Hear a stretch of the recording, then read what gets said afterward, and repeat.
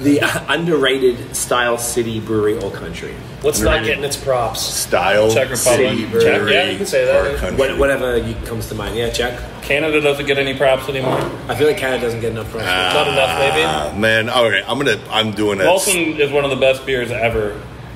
what is? Molson, just Molson Canadian. Go punch it. Turn it off. Are you a brewhead? I'm a brewhead. Are you a brewhead? I'm a brewhead. Y'all are brewheads? Yeah, we brewheads. So pour a glass of craft beer, we can do this. Yeah.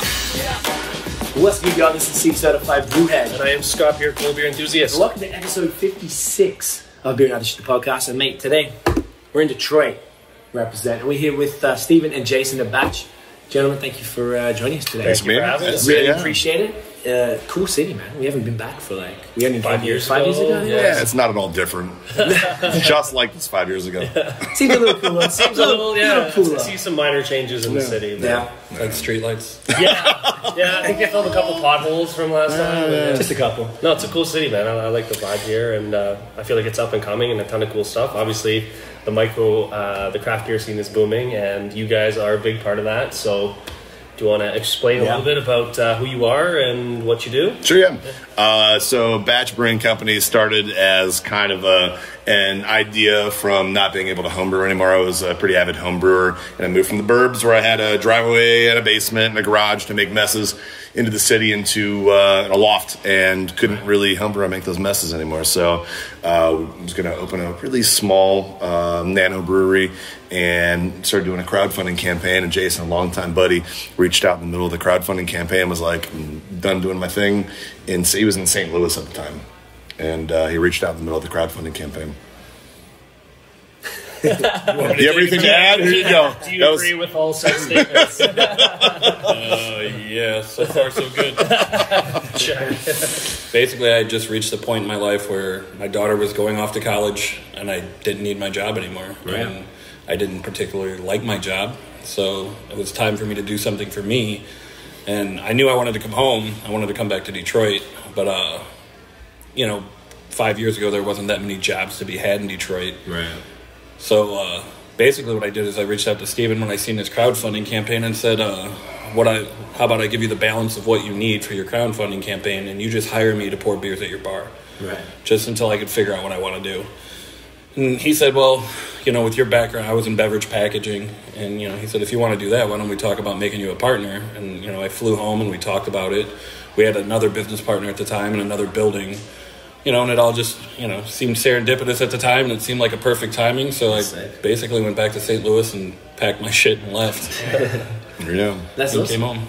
Did you, I I swear I saw the crowd crowdfunding campaign. Did you guys do like a TV show or something with someone? Did someone film No, you you're, doing uh, it? That sounds really familiar. Your smoking Oh, jacket bit. yeah. Well, so th- there was the crowdfunding video thing for sure, and then we got some coverage afterwards. Mashable did this um, start. I Yeah, it was a the whole startup series. building And it was a whole- series or and something. A whole bunch of different businesses in, Yeah. in Detroit. Well, so well, no, no, that one was coverage of two businesses. One, it was us in Detroit, and then it was um, I San Francisco. Yeah, it was uh, Right. It was um, Malaysian, yeah, uh, restaurant, yeah, yeah. And they were going to all the food festivals and stuff. Yeah, That yeah. was sick. Okay, so that's Yeah. why I knew you guys. All right. Yeah. Dave didn't tell. I like Dave told us about it. Shout out to Dave. like told us about you guys. Like you- don't. So hey?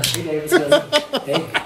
A little while ago. Okay, that's amazing. Yeah. So how long ago did you guys open? Like when was that? When was Uh, the, the crowdfunding side? We, we officially opened our doors in uh, early in 2015. We did a bunch of events in 2014. We were in business, but soft openings and things like that in 2014. Okay. Um, but yeah, we did the crowdfunding campaign. I think it started late 2012, early 2013. We won a business incubator contest later that year. Bought this building in what, March of 2014. March of 2014. And it took a little bit less than a year to build out and get up and running. So we were operating like officially open February 2015. And uh, yeah, so it's been. You know, we've been in business for about five years, but we've been open fully fledged a for like years. two and a half years. Amazing. Yeah, that's crazy. And then so then Jason, you you I guess became a partner straight away, and just went didn't look back.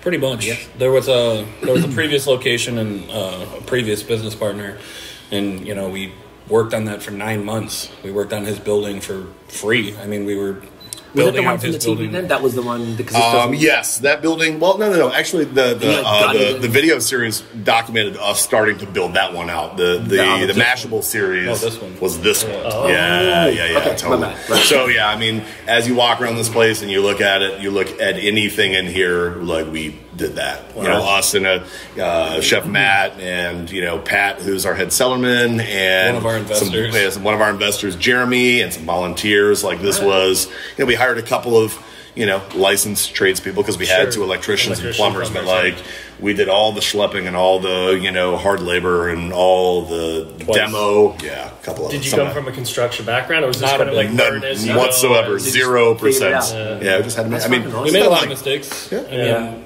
a fair amount of mistakes, but none of them were like detrimental. detrimental. I mean, Yeah. we spent four days with a mastic tool grinding the tile off the floor, and then we decided to cut Decided to half the get rid of the floor. concrete. So, I yes, that is the fucking. worst. uh, hey, while we're talking, you guys Yes, want to drink that's a beer? usually what we Yeah. do. It's Yeah, we kinda Let's got so, beer. well, it's really you give us a microphone, we're going to talk. So Yeah. we'll just Let's get this going. So what do you want to start we with? can Well- multitask. No, yeah. Normally, normally I would wait for something hoppy at the end, but this beer is not particularly bitter. It's you know more aromatic and flavorful. And since these are in pitchers, let's just start with these, Yeah. and then we'll open the bottled stuff. Um, this beer is called Palewise, and yeah, it is a. Um, actually, the base beer is a Kolsch, so it's a very clean fermentation that we dry hop the fuck out of Nice. in the you know in mid late fermentation. So it you know kept a lot of uh, protein in suspension and it's got some of that like it's a little bit of that haze that for whatever reason people want to see in hoppy beers like it's gonna come up in it is yeah well no doubt. Um, but uh, it's really clean. It's not particularly bitter um, and you're gonna notice this isn't like juicy it's not fruity it's like it's it's uh, got some tropical you know fruit to it but it also has a little bit of dankness to it. It it doesn't smell dissimilar from like you know um, like a kind of a west coast or a traditional you know uh, uh, an american ipa um, but it drinks not bitter. It's, it's very flavorful very aromatic and then it's not particularly bitter. So this is pale wise. Cheers. cheers guys Yeah. Get it in, yeah. Well, that's wicked. Oh, I thought we were doing shots. That's how we These do are things shot here. glasses, aren't they? I do a big vlog too. Yeah. Quick, quick photo. And we do this constantly. Yeah. um, this is great. This is really juicy. Actually, it's much more juicy than I anticipated. Yeah, it's uh, it was a it was a fun beer. Uh, we treat the brewery a lot like a scratch kitchen, where you start with concepts, and along the way, you decide you want to nudge it in a different direction, which is different than your you know original plan. You're tasting, you know, the beer as it's fermenting, or you taste the wort and you say like, "Wow, it'd be really cool if." Like sometimes it's get on a, get on the phone with a supplier and track down some, you know, uh, you know, some some you know f- uh, fruit concentrate or something, or you decide to go in this direction with a dry hop instead of another one. Um, that's kind of our ethos around here. Every batch of beer that we do is an opportunity to uh, experiment and evolve what we're doing. Even beers that are kind of set, recipes that are set, we're still thinking about like, how do we want to alter the water Yeah, profile? definitely or- don't get attached to anything. Yeah. Yeah. So it's like you guys are constantly revolving uh, the the rotation. Like, is there much that like is there like a foundation? Yeah, do you have your mainstay beers and then your seasonal? Got a couple beers that, that are on rotation. Empire, Yeah, audacity. um, Anton's Animals. Um, you know, there's some seasonal beers. Handsome Stranger, Hibiscus Saison, that comes around right around opening day, spring, summer. Um, Low End Theory, Fall. our black IPAs, fall, winter. You know, some imperial stouts that have like kind of seasonal launch dates, Dave but likes it. we don't have. Dave's into that one. Like- Black IPA. Yeah. he likes there there are like two beers that are like typically available in the tap room because people want them, but just because we have Audacity all the time, which is a, a Kolsch, doesn't mean that we're distributing it into the marketplace here around it. Right. Like, You still get a lot of people who come in before games and stuff and say, "Well, normally I drink domestic beer. Yeah. Do you have anything that's lighter?" So that's why we have a Kolsch. fair enough, yeah. Yeah, that makes sense. I guess people. You don't want to run them out the door just because everything you have is like a hot blast. you know? Yeah. we we have a responsibility to Besides, make. I like the audacity. It's yeah, a great totally. beer. Well, Yes. Yeah, you know, you you you, you want to make beer that people want to drink, right? Yeah. You have a you have a responsibility to run a successful business, Mm-hmm. and as much as you want to experiment, you also need to try and make people happy. Right. Uh, the Kolsch is our yellow fizzy beer, you know, and we always have a hop forward beer on, and if you can do those two things well. You know, a lot of people are going to be happy, and Yes, then it gives us a lot of room to run and experiment. We just want to make the best fucking possible example of the thing that we're working on. We want it's going to always be natural, and after that, we want to make the most enjoyable thing to drink. Right. And whether it's a big fucking barley wine, or it is a session IPA, or it's a fruited wheat beer, like we want it to be fun to drink. Where like when you finish it, you go like, "Fuck, I need another one of Yeah, those." And that's that is the end goal of any beer that we make. This was so good, I want to drink another one. And if we're able to do that with every beer that we're making, then we've been successful. Hell yeah. Um, you guys definitely, you guys are doing the whole spectrum. Like sometimes breweries do, maybe they kind of specialize and stuff, but like literally, even just today, we've had almost every sort of like representation, maybe aside from the dock beers and stuff. You know, there was that sours. one beer that I wanted to I wanted to cap it off with, which is a cool story. I don't know how much time we got left. Oh, we right? got as much time as I'm gonna go grab a beer. Hang tight. for it. Yeah, Yeah.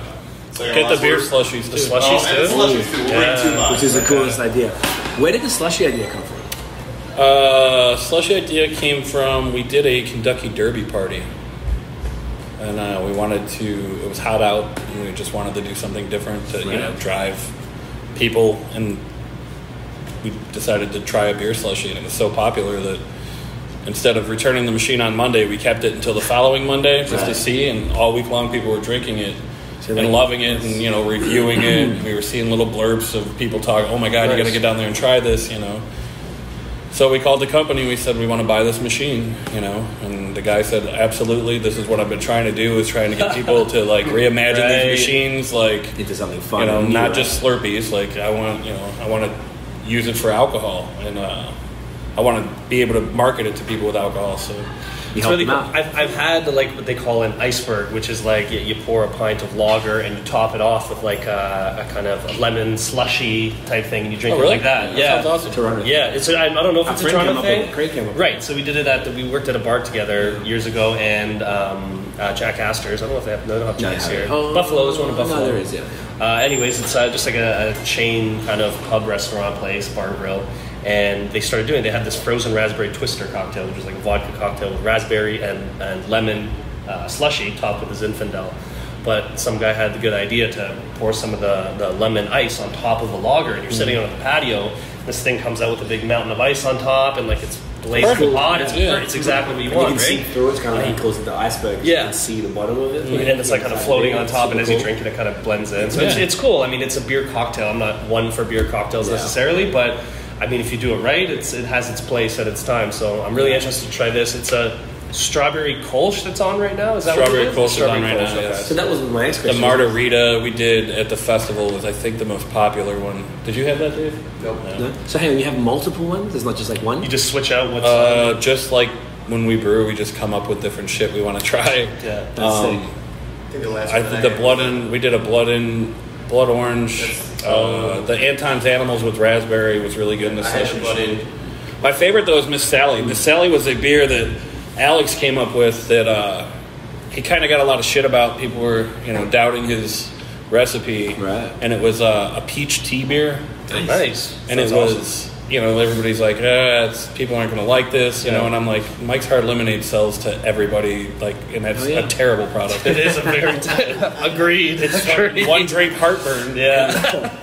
So he made that beer and we put it in the slushy machine just as was, you know, as it sat, and it was my Amazing. favorite. It was my favorite thing that you know we've done here so far. Probably. Wow. Is it as simple as brewing a beer, putting it in the slushy machine, and turning, or You have to add, sugar, yeah. You have to right, you know, add sugar. You have to, you know, there's a right a balance, and There's a balance probably you have some to water come in there, and So Alex like was saying like he's uh, somebody was uh, maybe it was the guy that you guys got the machine from. And he was like people who tried to do this before and just didn't could come out not right. figure out how to do it the Right. right, way.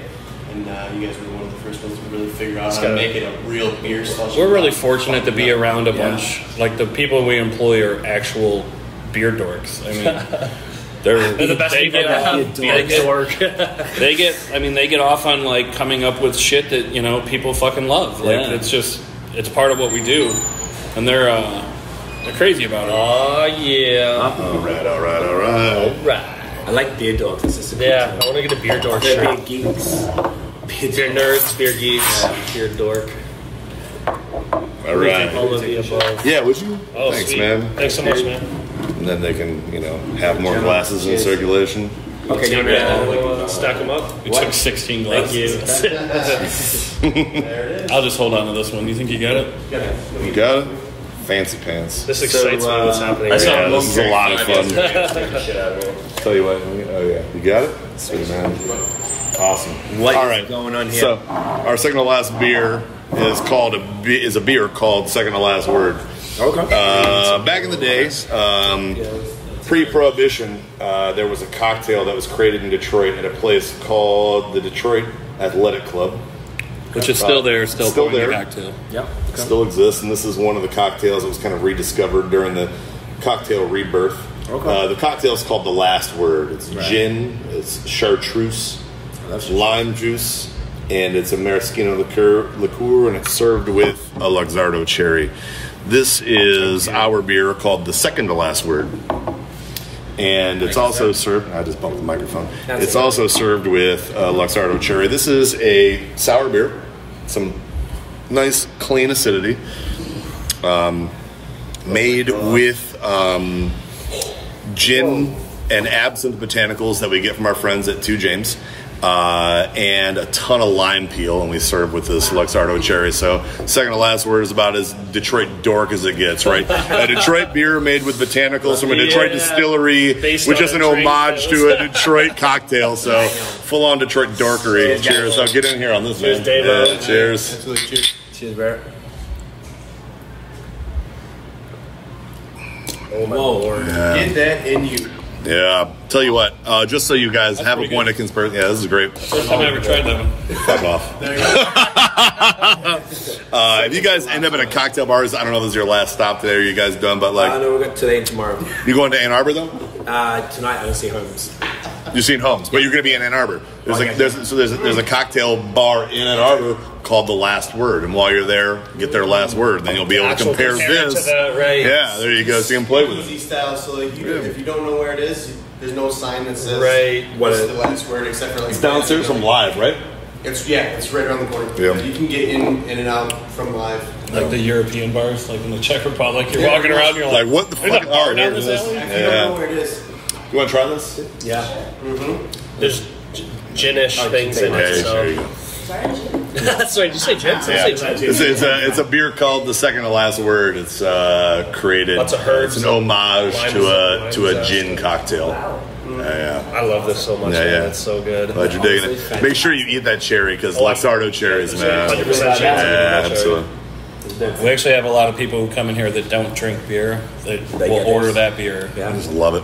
And they'll just sip on it while their husband or like you know, black wife. licorice on the nose, but you, De- Yeah. Definitely. Licorice. That's the Yeah. ab- absinthe. So- uh, It's got uh, anise seed and star anise in it. Both anise seed and star anise. No, yeah, you Yeah, the it's got- the lime, and then the sourness of the beer. Line, that's it. Man, this is fantastic. There's so much going on Is here. there any sort of like tea? There's almost like a tea. Um, Well, I mean, feeling to Yeah, yeah. I mean, you know those those botanicals that are in the in the spectrum of Big gin quality and absinthe. Yeah. herbal teas and Yep, stuff like that. Absolutely. Yeah, such a cool idea, man. This is like, like you guys were saying earlier, as well as asking if you making stuff you want to drink. Like you guys are most certainly doing. Hundred percent. Look, I guess the, the weirdest shit that I've seen for a while, and it's fucking awesome because I feel like it's people either go either way, breweries can kind of just stick more to the traditional thing, and there's nothing wrong with either or. But it is cool as the beer dogs. That's the new one.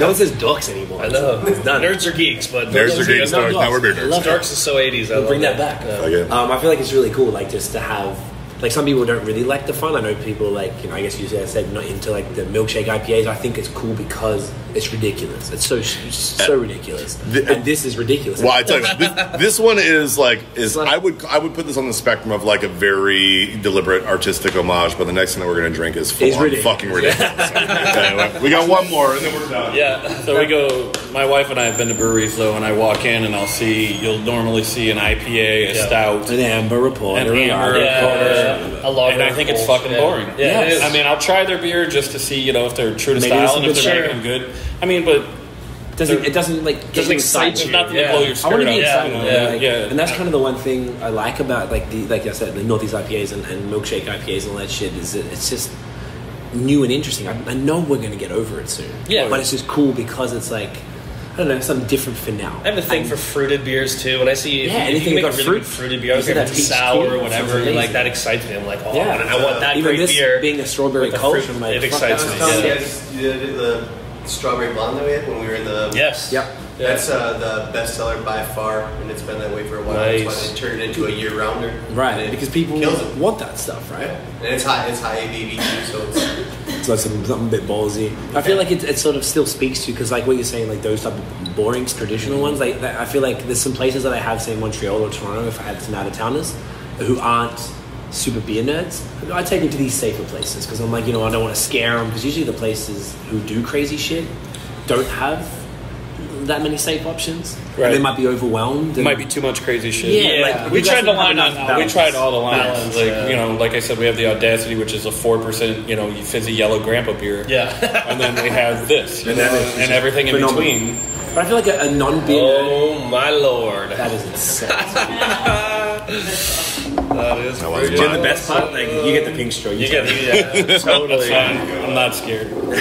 Yeah, so this is the last one, and this definitely we can chalk up to a little bit of ridiculousness. We threw a uh, a Kentucky Derby party. I don't know if the I Canadians and the the. Australians. Yeah. Oh well, then I'm not going to reiterate. Oh yeah, we know the Kentucky Derby is. We have the Melbourne Cup. There you go. So I know the Kentucky Derby horse race. Everyone gets way too dressed up and Yeah. drunk as fuck. Wear silly Fucking hats. and- silly hats and whatnots. All day Cool. long for a 90 second. Oh, oh no! Come on, amateur hour. Oh, no? Dave, get in. No, I'm. Come on, it's okay. There it is. Yeah, All right, now we're going back in. There Five grown men drinking beer sessions. this is Hey, what guys. I want to do in Detroit. Thanks for coming out. Thank you for Cheers, having us, guys. man. Absolutely. appreciate it. Cheers, Blast. guys. Fucking get in you. oh my god. Oh, yeah. Oh my god. Strawberry Kolsch. Wow. Boys, that's uh, that's it. Really Legendary, man. That was Right a on. fantastic uh, Thank you chat. for Right having on. us. Thank you, man. Cheers, man. Really Oh, appreciate cheers, it. man. Love talking Cheers, to you man. guys. Love A pack. There it is. Gentlemen, uh, where can they find you guys online? batchbrewingcompany.com. Dot com. I'm on Ashley Madison. Ashley Madison, and check him out on Ashley Madison. Jason's profile is beautiful. His face looks What's a lot. Sorry to cheat on my wife. Yeah. What's your username? If you're into fat guys, I'm I do hit- stuff. That guy's with facial hair. He's way into I'm gonna hit you up. I'll DM you. And delicious craft beer.